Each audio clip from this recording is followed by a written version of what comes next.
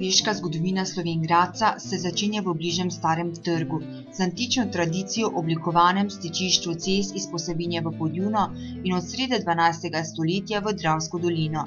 Zato se je v kraju že v 10. stoletju razvilo semišče, ki se mu je kmalo pridružila deželna mitnica, v bližnjem šmatnem pražu knija in na grajskem hribu feudalna postojanka Gradec, ki jo viri prvič omenjajo leta 1091, poleg Reichenburga kot najstarejšo bivalno utrbo na Štajerskem. Med pričami dogodka se omenja tudi Verjan de Gris, lastnik lastniške cerkve, ki se je konec 11. stoletja po spremembah na ogleskem cerkvenem teritoriju vključila v patriarhov župnijski sistem in je poleg starega trga vključevala še mesto Slovengradec, Razbor, Šentil pod Turjakom in Podgorje.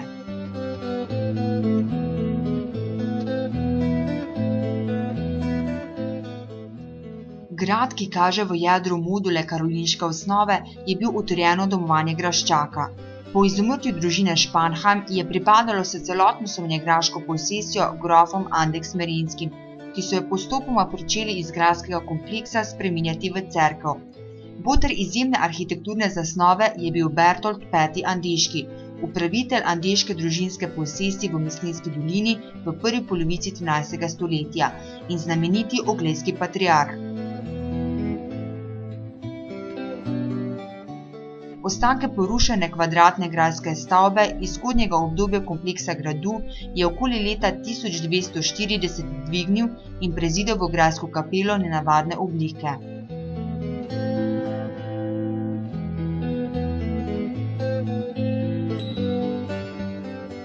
Cerkev, ki je bila nekoč del grajskega kompleksa, v svoji stavbni strukturi vsebuje elemente enega najstarejših gradov na Slovenskem, Utrjeni grad so okoli leta 1488 močno poškodovali ogrski vojaki.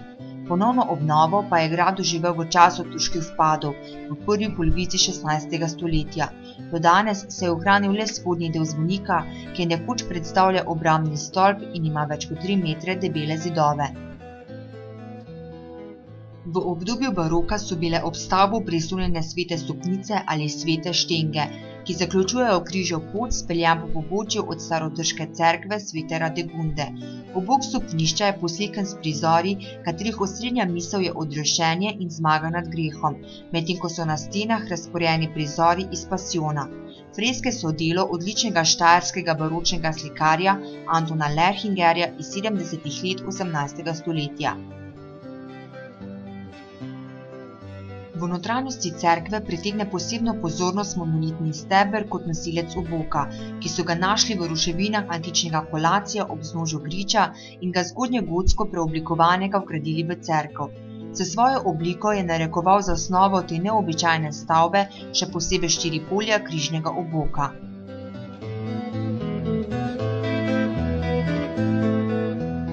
Na severni in južni steni nekdanje grajske dvorane se nahajata oltarja svetega Aluzija in svetega Janeza Nepomuka, ki sta delo izjemnih baročnih mojstrov, slikarja Janeza Andreja Štrausa in kiparja Janeza Jurija Mersija. V baroku, ki je s svojimi elementi najodločneje posegel v stavbni kompleks, so dodali še velik prezbiterij, v katerem danes stoji oltar svetega Pankracija. Gotski vtis notranjšine pa so pokvarili s prevelikim korom, pod katerim se nahaja nagrobnik starotrškega župnika Andreja Tavčarja, ki je umrl leta 1638.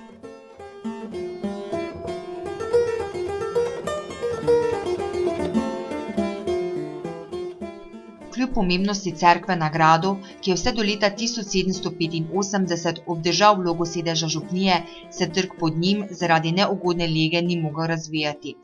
Tržne pravice, ki jih je stari Slovengradec dobil že pred letom 1180, je Bertolt V. Andeški skupaj z imenom konec 11. v začetku 12. stoletja prenesel v novo naselbino sredi Slovengraške kotline, kjer je leta 1228 poleg kovnice denarja že stala mitnica. Leta je dal v čas svoje nečakanje Elizabete Turingijske v Slovengracu 30. aprila 1251 posvetiti današnjo župno cerkev, ki je bila najverjetneje zgrajena že leta 1235. Okoli nje se je razvila naselbina, kateri je Ulrik III. leta 1967 podelil mestne pravice, s tem pa tudi osebne svoboščine mestnega sodnika, ki so ga meščani volili vsako leto v cerkvi svetega duha, postavitve obzidja ter uživanja sejemskih privilegijev, ki so po požaru iz leta 1454 potekali vsako leto na dan svete Elizabete 17. novembra na gospodski gmajni na mesto današnjega trga svobode.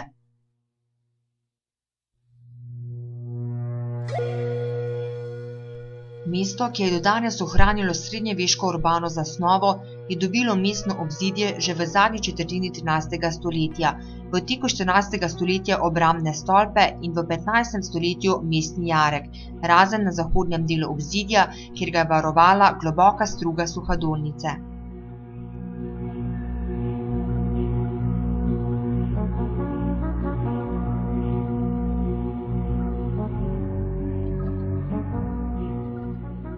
Osrednji del mesta je predstavljal glavni trg, kjer je sredi niza hiš stala mestna hiša, najstarejša meščanska hiša iz 16. stoletja.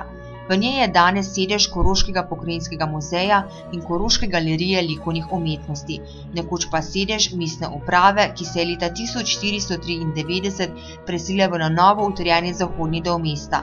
Na tem mestu je Ilja Šulc-Hojcinger, upravnik slovenjegraškega gospodstva, na novo utrdil nekoč najpomembnejši del obzidja, Vindiš Grecov stolp, ki je bil predtem v lasti plemičev trapov. Današnjo podobo je dvorec po zaslugi grofov Kulmov dobil v 17. stoletju, s pozidanjem notranjim nadstropnim arkadnim dvoriščem ter uvoznim portalom, ki ga v Atiki krasi lastnikov grb. Ime Rotenturn pa je dvorec dobil od plemiške rodbine Rotenberg, ki so bili upravitelji gospodstva v 16. stoletju. Cerkvenim potrebam je bil namenjen jugovzhodni del mesta. Tukaj stoji cerkev svete Elizabete, ki se je okoli leta 1428, verjetno pa že prej, pridružila cerkev svetega duha. Ta je stala v bližini špitala, ki ga je za oskrbo revnih in obogih postavil Janez iz Škofje Loke. Upodobljen je na freski v notranjosti cerkve, ki so vključene s freskami Kristusovega pasiona, delo slikarja Andreja iz Otinga.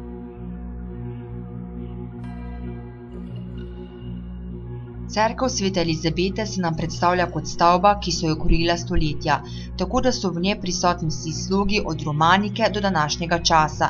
Čeprav seveda vizualno prevladujeta poznogotski prezbiter in zvonik ter romanska, vendar renesančno obokana ladja. Kljub številnim dozidavam pa je cerkev v zunanjosti ohranila srednjeveško silhueto in proporce. Nekoliko drugačno podobo pa nam razodeva bogata, baročna notranjost.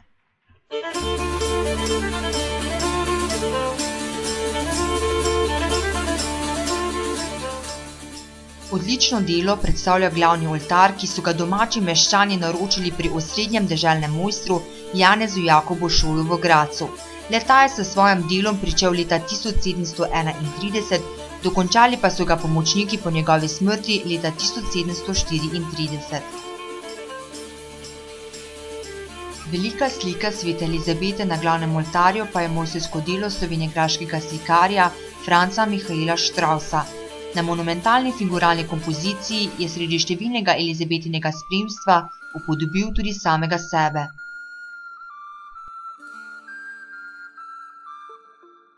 V vsej svoji baročni mogočnosti se nam danes kaže tudi oltar svetega Janeza in Nikolaja, z bogatim kiparskim okrasjem, med katerim izstopa upodobitev baročno znesene svete Veronike s prtom in je delo Janeza Jurija Mersija, slika na njem pa je delo Janeza Andreja Štrausa.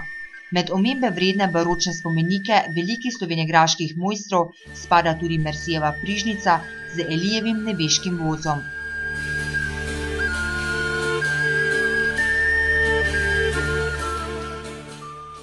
Kljub živahnemu srednjeveškemu življenju pa čas in naravne nesreče niso bile ravno naklonjene stavbni strukturi, ki pod licem 19. stoletja vendarle skrivajo mnogo starejše baročne in celo gotske zasnove.